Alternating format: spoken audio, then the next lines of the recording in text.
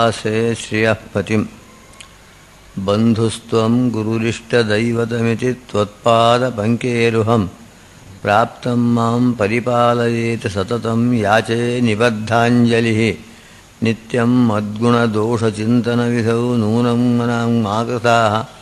अत्याभिज्ञगुरो त्वदङ्घ्रियुगलं हित्वा न मे सद्गतिः।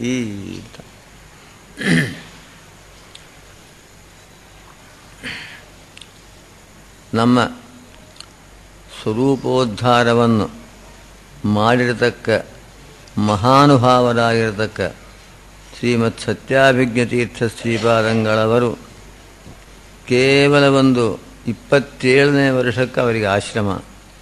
ಮುಂದೆ ಮೂರು ವರ್ಷ ಇದ್ದರು ಅವರು.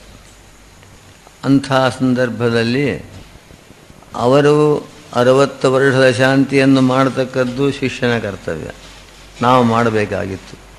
ಆದರೆ ಆ ಭಾಗ್ಯ ನಮಗೆ ದೊರೆಯಲಿಲ್ಲ. ಅವರು ಕೇವಲ ಅಲ್ಪ ಮೂರು ವರ್ಷದಲ್ಲಿ ಯಾತ್ರಾ ಮಾಡಿದರು. ಆದ್ದರಿಂದ ಆತ್ಮಾವೈ ಪುತ್ರನಾಮಾಸಿ ಅಂತಿದ್ದರಿಂದ ಅವರ ಒಂದು ಅಂಶ, ಅವರ ಒಂದು ಅನುಗ್ರಹ ಅವರ ಮಕ್ಕಳಲ್ಲಿ ಇರುತ್ತದೆ. ಆದ್ದರಿಂದ ಅವರದ ಮಾಡಲಿಕ್ಕಾಗಿಲ್ಲ ಇವರದಾದರೂ ಮಾಡಬೇಕು ಎಂಬ ಉದ್ದೇಶದಿಂದ, ಇಷ್ಟು ವೈಭವದಿಂದ ಅವರ ಒಂದು ಉತ್ಸವವನ್ನು ಮಾಡಿದ್ದೇವೆ. ಅಂದರೆ ನಮ್ಮ ಗುರುಗಳ ಒಂದು ಕೃತಜ್ಞತ. ನಮ್ಮ ಸ್ವರೂಪೋದ್ಧಾರ ಮಾಡಿರತಕ್ಕಂಥ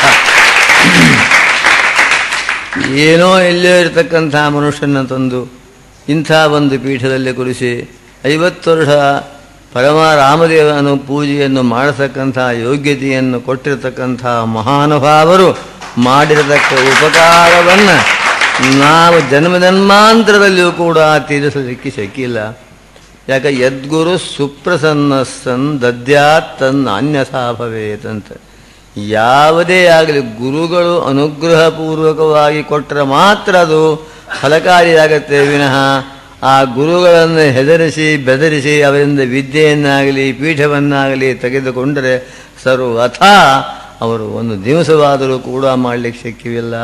ಇಂಥ ಸಂದರ್ಭದಲ್ಲಿ ಎಲ್ಲೋ ಇರತಕ್ಕಂಥ ನಾನು ಸಾಮಾನ್ಯ ಮನುಷ್ಯ, ಆ ಕಾಲಕ್ಕೆ ಮಹಾ ಮಹಾ ಇವರು. ನಮ್ಮ ಕಾಲಕ್ಕೆ ಎಲ್ಲ ಜಗತ್ತಿನಾಗಿರ್ತಕ್ಕ ಪಂಡಿತರು ಎಲ್ಲರೂ ಅಲ್ಲಿ ಪುಸ್ತಕರಾಗಿದ್ದು ಆಣೆಬೆನ್ನೂರೊಳಗೆ. ಅಂಥ ಸಂದರ್ಭದಲ್ಲಿ ಅವರಿಗೆ ಒಂದು ಸಂದರ್ಭ, ಅವರ ಆಶ್ರಮ ಕೊಡಬೇಕು ಅಂತೇನೋ ನಮ್ಗೆ ಯಾರಿಗೂ ಅವ್ರು ಹೇಳಿಲ್ಲ. ಯಾರು ಏನು, ಯಾರು ಕೇಳಿದರೂ, ಏನು ಆಶ್ರಮ ವಿಷಯ ಬಂತು ಅಂದ್ರೆ ಮುಸುಗು ಹಾಕಿಬಿಡ್ತಿದ್ದೆ ಹೊರತಾಗಿ ಇಂಥವ್ರಿಗೆ ಯಾರಿಗೂ ಹೇಳ್ತಾ ಇರಲಿಲ್ಲ. ಸಾಕ್ಷಾತ್ ಅವರ ತಂದೆಗಳಿಗೂ ಕೂಡ ಈ ವಿಷಯವನ್ನು ಹೇಳಿಲ್ಲ ಅವರು. ಹೀಗೇ ಇದ್ದರು ಒಂದು ಆ ಸಂದರ್ಭದಲ್ಲಿ ಏನಾಯಿತು? ಒಂದೇನೋ ಒಂದು ಆಕಸ್ಮಿಕವಾಗಿ ಒಂದೇನೋ ಒಂದು ನಮಗೆ ಒಂದು ಪ್ರತಿಬಂಧಕ ಬಂತು. ಪ್ರತಿಬಂಧಕ ಬಂದ ಕೂಡಲೇ ಅವರಿಗೆ, ನಾನು ದಿನ ಅಲ್ಲಿ ಅವ್ರ ಹತ್ತಿರ ಹೋಗೋದು, ಬರೋದು, ಸೇವೆ ಮಾಡ್ತಾ ಇದ್ವಿ. ಮಾಡ್ತಾ ಇರುವಾಗ ಇವತ್ತು ಬರಲಿಲ್ಲ, ಯಾಕೆ ಬರಲಿಲ್ಲ ಯಾಕೆ ಬರಲಿಲ್ಲ, ಏನೋ ಬಂದದ ಅಂತ ಹೇಳಿದ್ರು. ಹಾಗಾಗಿ ಎಷ್ಟೇ ದಿವಸ ಎಷ್ಟೇ ದಿವಸ ಹಿಂಗೆ ವಿಚಾರ ಮಾಡ್ತಾ ಮಾಡ್ತಾ ಮಾಡಿದ್ರು ನಾ ಇನ್ನು ಮೂರು ಒಂದು, ಅವತ್ತಿನ ದಿವಸ ನಾಳೆ ನಮಗೆ ಆಶ್ರಮ ಆಗಬೇಕು. ಅಂಥ ಸಮಯದಲ್ಲಿ ಅವರಿಗೆ ರಾತ್ರಿ ಎಚ್ಚರಿಕೆ ತಪ್ಪಿ ಹೋಯಿತು. ಎಚ್ಚರಿಕೆ ತಪ್ಪಿದಾಗ ಅಲ್ಲಿಂದ ಎಷ್ಟೊತ್ತಾಗಿ ಎರಡು ಮೂರು ಗಂಟೆ ಹೊತ್ತು ಆದಮೇಲೆ ಎಚ್ಚರಿಕೆ ಬಂತು. ಬಂದ ಮೇಲೆ ಅವ್ರ ತಂದೆ ಹೇಳಿದಂತೆ, ಏನಪ್ಪ, ನಾ ಎಲ್ಲೂ ಹೋಗಿಬಿಟ್ಟಿದ್ದೆ, ಏನೋ ಆಗಿ ಹೋಯಿತು, ಪುನಃ ದೇವರು ತಂದಿದ್ದಾನೆ ಅಂತ ತಿಳ್ಕೊಂಡು ಹೇಳಿ. ಹೇಳ ಮರುದಿವಸನೇ ನಮಗೆ ಆಶ್ರಮ ಆದದ್ದು. ನಮಗೆ ಆಶ್ರಮ ಕೊಡೋದಕ್ಕೋಸ್ಕರನೇ ಅವರು ಬದುಕಿದ್ದು ಮುಂದೆ ನಮಗೆ ಬೆಳಗ್ಗೆ ಬಂದು, ಬಂದ ಕೂಡಲೇ ಏನು ಮಾತೇ ಇಲ್ಲ. ಏನಪ್ಪ ಗುರಾಜ ಯಾರು ಬಂದೆ ಗುರಾಜ ಬಾ ಏನು, ಏನಿಲ್ಲ ಮತ್ತು ಹಿಂಗೆ ಪರಿಸ್ಥಿತಿ ಅದ ಏನು ತಮ್ಮ ಅಪ್ಪಣ ಏನಾಗ್ತದೆ ನಾನು ಪರಿಪಾಲನೆ ಮಾಡ್ತೇನೆ ಅಂತ ಹೇಳಿ. ಏನಿಲ್ಲ ಪಾಪ, ಅವ್ರು ಹೇಳಿದ್ದು ನಿಮಗೆ ಆಶ್ರಮ ಕೊಡ್ತೇನೆ. ಇಬ್, ಆದರೆ ಇಬ್ಬರೂ ಕೂಡ ಪೂಜಾ ಮಾಡೋಣ. ನೀ ಬಂದಾಗೆ ಮತ್ತು ನಮ್ಮ ಪೂಜಾ ಮಾತ್ರ ತಪ್ಪಿಸ್ಬೇಡಪ್ಪ. ಏನು ಅಲ್ಲ, ಅವರಿಗೆ ಇನ್ನೂ ಪಾಪ ಇದು ಹೀಗೆ ಅಂತ ಪರಮಾನುಗ್ರಹ ಅಂಥೇಳಿ ಅಷ್ಟೇ ಮಾತಾಡಿದ್ದು. ಕಾಯಿ ತೊಗೊಂಬ ಅಂದರು ಕಾಯಿ ಕೊಟ್ಟರು ಸನ್ಯಾಸ ಕೊಟ್ಬಿಟ್ರು. ಇಷ್ಟು ಏನೂ ಒಂದು ವಿಚಾರ ಇಲ್ಲ, ನಿರ್ಬಂಧ ಇಲ್ಲ ಮತ್ತೊಂದಿಲ್ಲ ಕರಾರಿಲ್ಲ ಯಾವುದೂ ಇಲ್ಲದಂತೆ ನಮಗೆ ಪರಮಾನುಗ್ರಹ ಪೂರ್ವಕವಾಗಿ ಕೇವಲ ನಮಗೆ ಆಶ್ರಮ ಕೊಡಬೇಕು ಅನ್ನೋ ಉದ್ದೇಶದಲ್ಲಿ ಹನ್ನೆರಡು ಗಂಟೆ ಕಾಲ ತಮ್ಮ ಆಯುಷ್ಯವನ್ನು ಅಲ್ಲಿಂದ ಬಂದು ಬಂದು.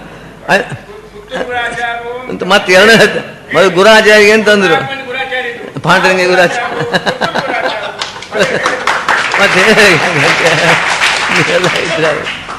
ಆವಾಗ ಹೇಳಿ ಪರಮಾನುಗ್ರಹ ಮಾಡಿ ಮುಂದೆ ಆವಾಗ ಎಷ್ಟೋ ಸರ್ತಿ ಮುಂದಿನ ಜಗಳ, ಕದನ ಬೇಕಾಶ ಎಲ್ಲ ಆರಂಭ ಆಯಿತು ಅಂತ ಅದು ಆದರೂ ಕೂಡ ಯದ್ಗುರು ಸುಪ್ರಸನ್ನ ಸನ್ ಸುಪ್ರಸನ್ನವಾಗಿ ಯಾರೂ ಹೇಳಿಲ್ಲ, ಕೇಳಿಲ್ಲ, ಪ್ರಾರ್ಥನೆ ನಾವು ಮಾಡಿಕೊಂಡಿಲ್ಲ. ಏನೋ ಒಂದು ಅವರು ಏನೋ ಅನುಗ್ರಹ ತೋರಿತೋ ಏನೋ. ಅದು ನಾವು ಪೂರ್ವದಲ್ಲಿ ಅವ್ರಿಗೆ ಎಷ್ಟೋ ವಿರೋಧವನ್ನು ಮಾಡಿದ್ದೇವೆ ಅಂತ ತಿಳ್ಕೊಳ್ಳಿ ವಿರೋಧ ಅಂದರೆ ಹಾಂಗೆ ವಿರೋಧವಲ್ಲ.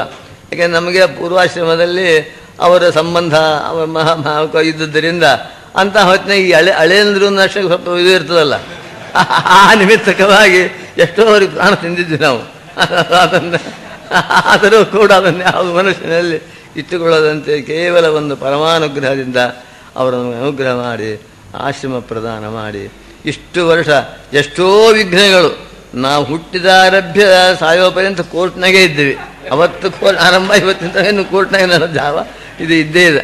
ಆದರೂ ಕೂಡ ಯಾವುದು ಪ್ರತಿಮಾದರಿಂದ ದೇವ ಪೂಜಕ್ಕಾಗಲಿ ಪಾಠ ಪ್ರವಚನಕ್ಕಾಗಲಿ ವಿಘ್ನ ಬರದಂತೆ ಪರಮಾನುಗ್ರಹಪೂರ್ವಕವಾಗಿ ಆಶ್ರಮ ಕೊಟ್ಟು ಸ್ವರೂಪೋದ್ಧಾರ ಮಾಡಿದ ಮಹಾನುಭಾವರವರು, ಅವರಿಗೆ ನಾವು ಏನು ಮಾಡಿದರೂ ಕೂಡ ಬಹಳ ಕಡಿಮೆ ಕಡಿಮೆ ಕಡಿಮೆ ಕಡಿಮೆ. ಆದ್ದರಿಂದ ಅಂಥ ಮಹಾನುಭಾವರ ಒಂದು ಉತ್ಸವ ಮಾಡತಕ್ಕಂಥ ಯೋಗ್ಯತೆ ನಮಗೆ ದೊರೆಯಲಿಲ್ಲ.